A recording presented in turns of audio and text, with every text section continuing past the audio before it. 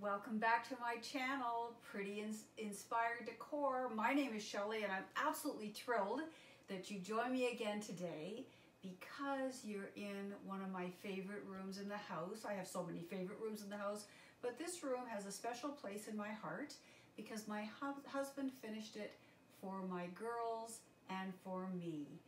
He knew that I needed a little bit more space in the house to decorate and we needed more space for the family when the girls became teenagers. Our home isn't large. It's about 2,200 square feet on two levels. And so we finished up about another 800 square feet or so down here.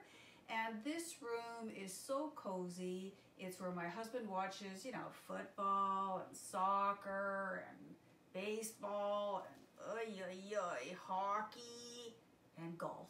Who watches golf? But anyway, this is his space but it doesn't mean it can't be gorgeous and pretty and fun. Now, this room didn't have a window. It's in the basement, and the way I wanted to finish this space meant that the largest room actually wouldn't have a window.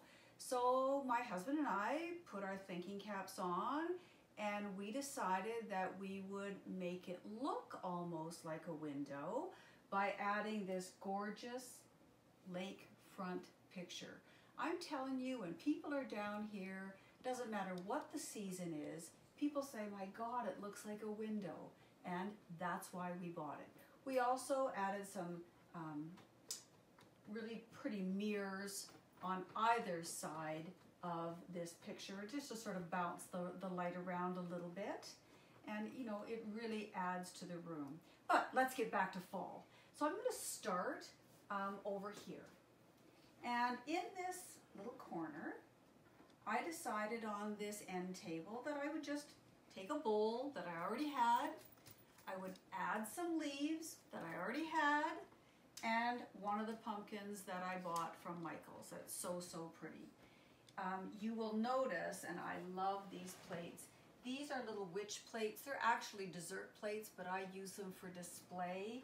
Look at her. Look at how gorgeous she is. They're from Lenox, and I can't tell you how much I love. I have four of them, and, I, and I, you'll notice I'll have all I have all four of them in the basement because they're just so pretty, and they fit this sort of a little bit more rusticy theme down here. You'll notice there's a little bit of black down here, and, and it's pretty. Behind that, I just have a candle that I keep out all year. Now I'm going to take you over to this coffee table. We created this coffee table out of two blanket boxes. Initially, we just had one of them down here, the other one was in a bedroom. And one day I said to my husband, why don't we pull it downstairs? I wanted a bigger coffee table. I mean, quite frankly, I wanted a bigger place to decorate. And I also wanted something that, you know, if I'm serving food down here, like dessert or whatever, people have more of a spot to, you know, put their plate. I started this year with this really gorgeous lantern. Look at how tall it is. It's beautiful. I filled it with three pumpkins. I added some leaves. I decided not to adorn it with a bow or anything, just to keep it simpler down here. And I have these two incredible stands. Whenever you go in a store and you look at something and you say, I wonder who would buy that? Well, the answer is Shelly. I looked at these two and I went, I have to have them. They're so whimsical. They're so much fun. I don't have to just use them for fall. I know they're spider webs, but if I do a little bit of covering of this and just put some maybe, uh, you know, winter leaves in here or, you know, do some eggs or something, you wouldn't even see it. So I know I can use these for more than one season. Down here, you'll notice again, um, in another video I talked to you about how much I like to use trays. This is a really large tray.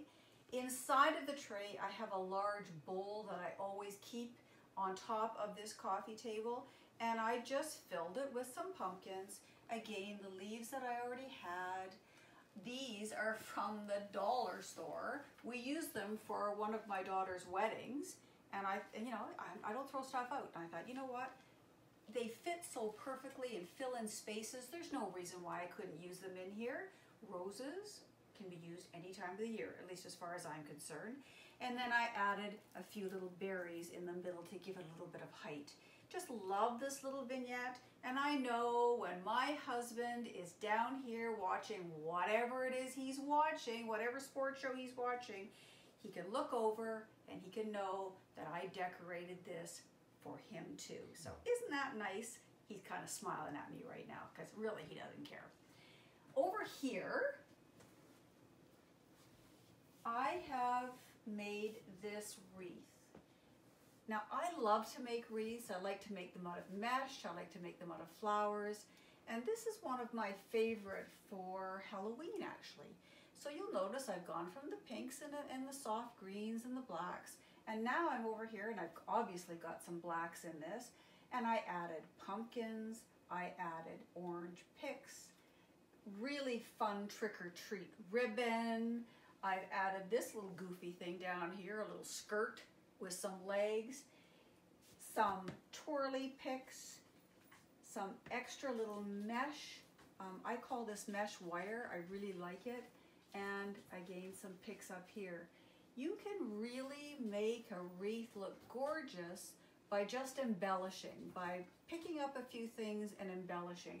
This is a witch's hat that, you know, I just attached to the top of the wreath. I filled up inside of that hat with some grocery bags from the grocery store to fill it out.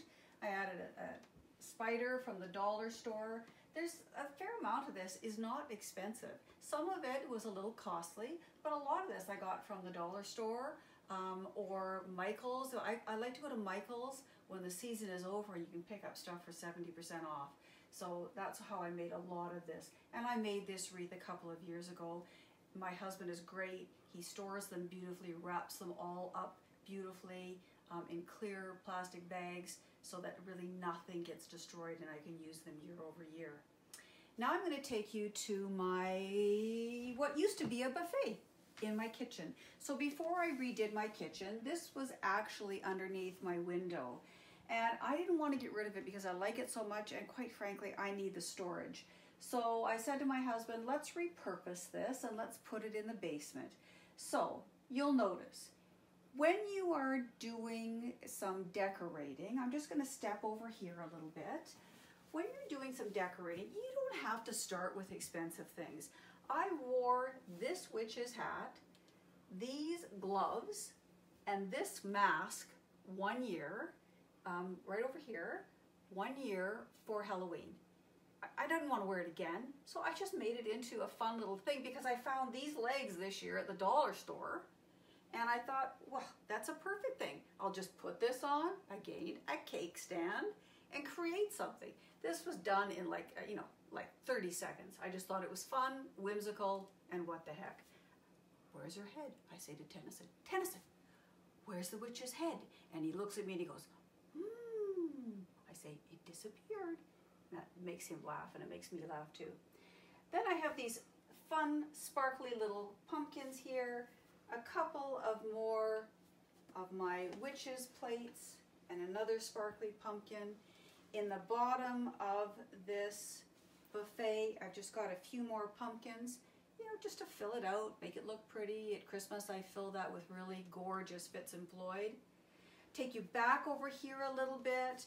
You'll notice this little wagon from Michael's. Again, bought that 70% clearance, you know, for next to nothing and filled it again with some of those really pretty gourds that I love from Pier 1. Another one of those gorgeous plates and a pumpkin sitting on, you know, what would normally be a vase. Like really, how simple is that?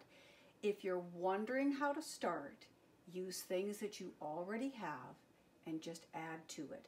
This will be very easy to de-decorate and it'll be easy for me to move from this season into Christmas. The final place I want to take you to is my fireplace. Now you may think, what is Shelley doing mixing this, which is obviously black and purple and orange, with these colors that are obviously softer? Well, again, I want to make sure that when children come downstairs, they have a place for their eyes to go where they will be intrigued. And I know when my little grandson comes down here, he loves to look at this. I have to say to him, please don't pull on the witch's legs. And, you know, it's just fun. And I'm okay that it doesn't actually match. It's more about the, you know, the juxtaposition of the different styles that makes, for me, it makes a more interesting vignette. So once again, I've got a large tray here. I have filled this tray with pumpkins and gourds and some berries and some leaves. And then I've adorned the either the other side of this with some more of these gorgeous pumpkins. These candlesticks I keep out all year. I don't necessarily keep them here, but they're so pretty.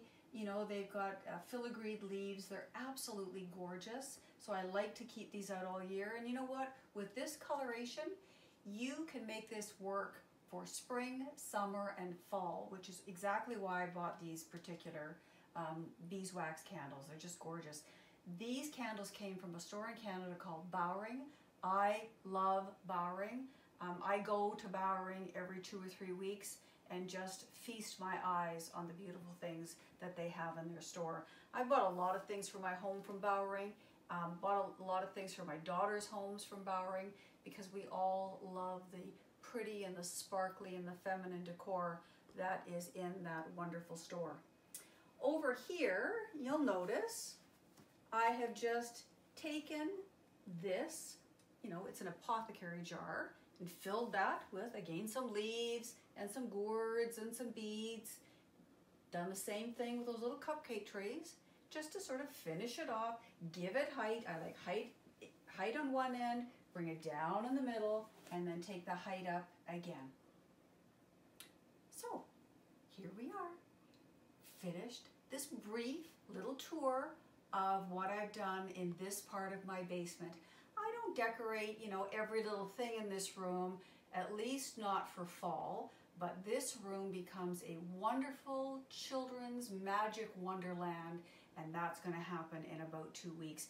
I know it's only mid-October, but I plan to really transform my entire home so that when people come to visit, they always want to go, you know, really on a look and see tour of my home because, you know, I like to make it pretty and I really like to have my guests be entertained when they come with all sorts of visual things to see.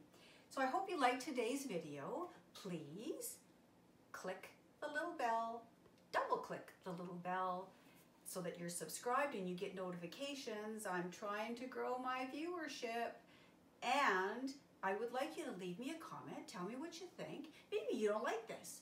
Maybe you think it's fun and whimsical too. Just leave me a comment. Tell me what you think. Tell me again what you like to do. How do, what do you like to do to intrigue children in your world?